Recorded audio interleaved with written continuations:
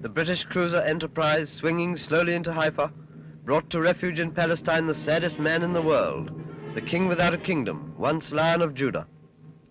First down the gangway of the cruiser came the boxes which contained the silver dollars which the emperor had managed to save from the wreck of his fortunes. Presently the empress came from the ship, followed by her daughter and her second son. Last came the emperor himself, sadly aged for a man who is still young in years, a war-racked monarch who led his own armies unsuccessfully against the machines of modern Italy.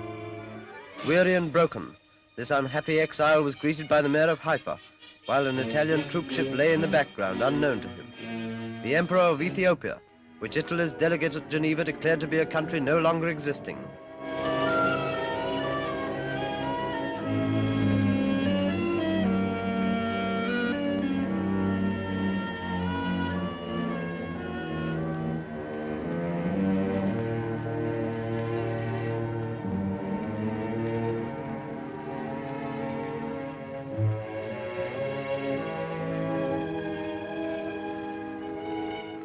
Then, passing before a guard of honor, Haile Selassie took train for Jerusalem, the fallen king who claimed the world's help in his unsought war and received only sympathy.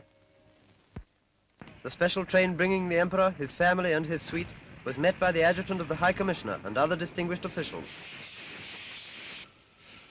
Although a transport strike had paralyzed the city of Jerusalem, special permission was given for cars to take the emperor to the King David Hotel, where he is staying whilst in Palestine.